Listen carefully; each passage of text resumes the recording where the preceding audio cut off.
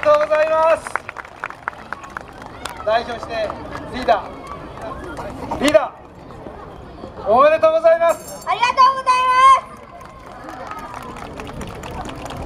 ます。どれだけ練習してきました？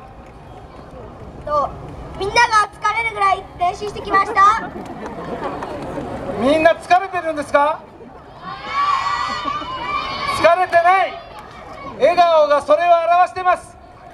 今年の優勝は栗原北小学校栗北パワーズ大きな拍手をお願いします。